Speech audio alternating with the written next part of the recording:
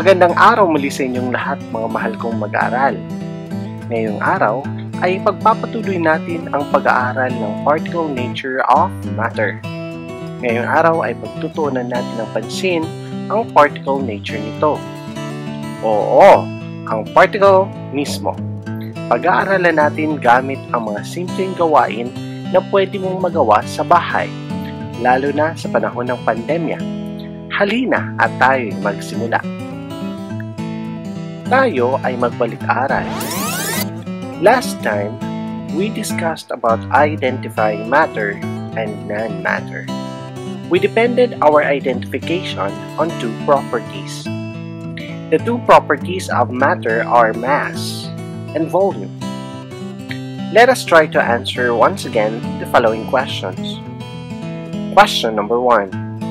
What property of matter refers to the amount of space it occupies. Yes, the correct answer is letter B, volume. Question number 2. What property of matter refers to the amount of matter an object has? Yes, the correct answer is letter A, mass. Question number 3. Which of the following is matter? That is right. The correct answer is letter D. Flashlight. Question number 4. Which of the following is not matter? Correct. The correct answers are letter A. Sound Letter B. Heat and letter C. Light. For the fifth and Final question. Why are sound, heat, light not considered matter? Yes, very good.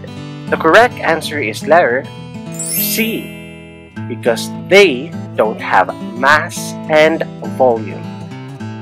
Now that you can correctly identify matter and non-matter based on the properties that you can observe like mass and volume, it is equally important that you know what matter is made of. For today's lesson, we are going to tackle the particle nature of matter itself.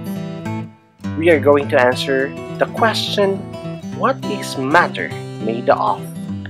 For our most essential learning competency, you are going to explain the properties of solids, liquids, and gases based on the particle nature of matter. For this lesson, you are going to infer from the given situations or observable events what matter is made of. You're also going to represent through drawings or illustration what is between particles of matter. And finally, you are going to appreciate particles as the building blocks of matter itself. Before we continue with our lesson, you must first familiarize yourself with the following terminologies. Angstrom, a unit of length equal to 1 10 millionth of a millimeter. Atom, the smallest particle. Molecule, a particle made up of two or more atoms. Particle, a very small part of something. Space, an open area. Squeeze means to pass or get by narrowly. For you to be able to start understanding the particle nature of matter itself, please perform activity number 2 on your Science 8 Learners material. The title of this activity is what is matter made of? This is found on page 174. It is expected that you can finish this activity for 20 minutes. Maaari mo namang ihinto or i-pause ang video habang ginagawa ang iyong gawain. Let's talk about your activity. In your activity, you were asked to add 20 ml of sugar and 50 ml of water. then you are going to mix sugar and water thoroughly and answer some questions. The first question asks you about the taste of the resulting solution. So what do you think is the answer? Correct. The resulting solution tastes sweet or matamis ang lasa. But, can you still see the sugar? Nakikita mo pa ba ang asukal? Your answer is no. You are not able to see the sugar granules anymore because it was dissolved in the water. But we still know that the sugar is still in the water because the water tastes sweet. Sa totoo lang, kahit hindi mo nakita na hinaluan ng tubig ng asukal, kapag nalasahan mo na ang tubig ay matamis, alam mo na ito ay may halong asukal. But, if the sugar is still in the water, why can't I see it? Bakit hindi ko na siya nakikita? What do you think happened to the matter or to the sugar when it is dissolved in the water?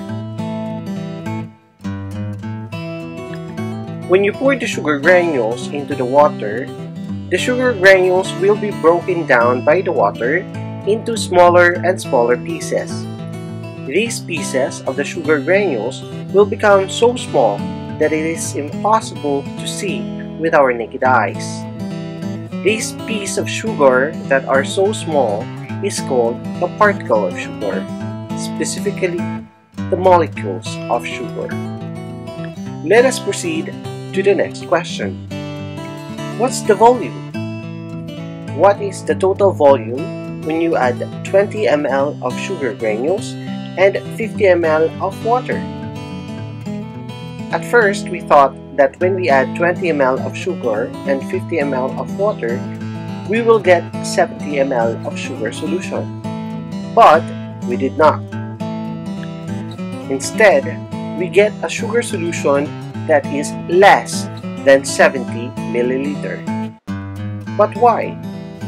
Why only get less than 70 ml? where in fact 20 plus 50 is 70. Let us think about sugar and water as made up of its individual tiny particles. For us to have a better picture of the particles of sugar and water, let us use sand and marbles as the particles of water and sugar. Sugar particles are bigger than water, so we will represent sugar as the marbles, and water will be that of sand because its particles are so small that we can see it. Let us imagine that you have a 20 ml of marbles in a container and you are going to pour the 50 ml sand into the same container. As you pour the sand, what do you observe? Correct. You observe that the sand pours into the container easily and they squeezes themselves on the spaces between the marbles. They try to occupy the available spaces before adding to the volume of the resulting solution. This is actually true with sugar and water. The sugar granules have a lot of spaces between them that the water have to fill before increasing the volume of the resulting solution. That is the reason why we get a volume that is less from that of the individual sugar and water combined. Now how about if we add two liquids together?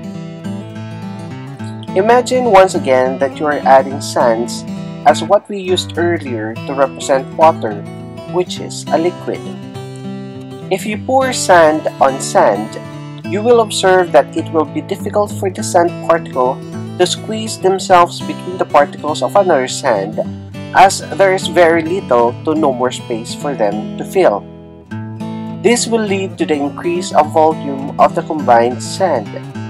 This is the reason why you get expected sum of the volumes when you mix two liquids together. In the case of the food coloring, it was able to squeeze past other molecules of the water because they are free to move past each other, as observed when the food coloring fell to the bottom of the container. Remember that liquid particles are free to move past each other, unlike that of solids. Have you ever wondered how scientists discovered the particles? Let us try to go back to the history of the particles. Almost 2,500 years ago, Leucippus and his disciple, Democritus, believed that nature consisted of two things, atoms and the void or space that surrounds them. They believed that atoms are physically but not geometrically indivisible. For Democritus, atoms are indestructible and completely full, so there is no empty space. Both Leucippus and Democritus had the idea that there are many different kinds of atoms, and each of them had specific shape and size, and that all atoms move randomly around in space. However, they did not give an explanation for the motion of atoms. Democritus believed that any piece of matter can be divided and subdivided into very small particles. But that this process ended at some point when a piece is reached that could not be further divided. He called this particle atomos, a Greek word which means indivisible particle. Democritus' ideas about the atom were later challenged by other Greek philosophers, most strongly by the great Aristotle. The idea of the atom was not further explored until a little over two centuries ago, when John Dalton presented concrete evidence that all matter is made of very small particles called atoms. An atom is the smallest particle of an element that has all the properties of the element. Today we know that although atoms are very small, they are not indivisible as Democritus thought. Rather, they consist of still smaller particles.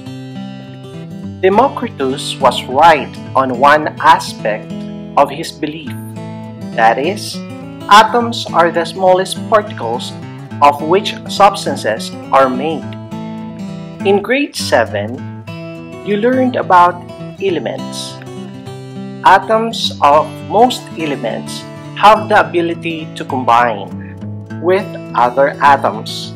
We have here an atom of hydrogen and the atom of oxygen. So if you combine atoms of hydrogen and atoms of oxygen, we will have a molecule of water.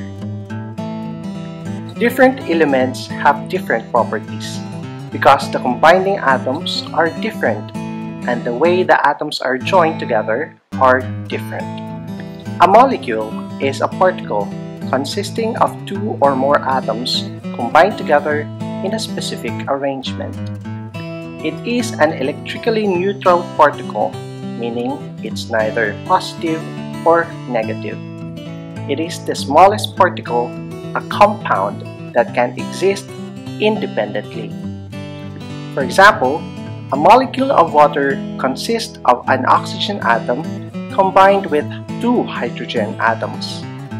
Atoms of the same element can also combine to form a molecule atoms are too small to observe.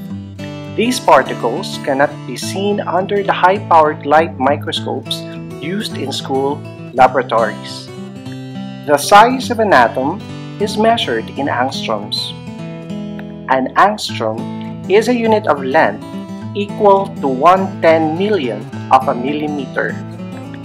A good analogy to consider related to matter being composed of tiny particles, is the pointillist style of painting. The images in a pointillist painting appear continuous, but if one looks closely, the images are actually made of small dots. Pointillism is an art. It is a method of painting using dots or points to come up with various effects. The dots are placed singly, in rows, or randomly. These dots can also be in groups, or they can be overlapping.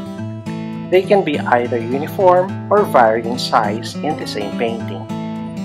Matter is similarly assembled, with atoms or different elements combining in various ways to give a tremendous variety of substances. Try to look at and study this pointillist art sample of the portrait of Mrs. Maria Laura Quinoy. She is the founding director of the Science Education Center, now University of the Philippines National Institute of Science and Mathematics Education Development. Now you try.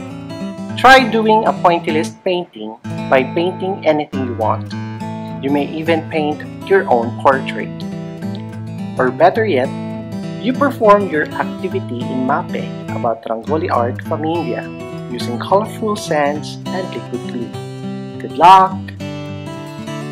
So, what have we learned today? Today, we learned that although we're not able to see particles through our eyes, we were able to infer from given situations or observable events that matter is made of particles. You were also able to represent through drawing or illustration that there is space or void between particles of matter when you performed activity number 2. And lastly, you were able to appreciate particles as the building blocks of matter by doing works of arts like the pointillist painting and rangoli. Let us proceed to evaluation. Let us test if you were able to understand the concepts on today's lesson. Do not frustrate yourself if you are not able to answer all questions correctly. Just keep on trying until you understood the concept.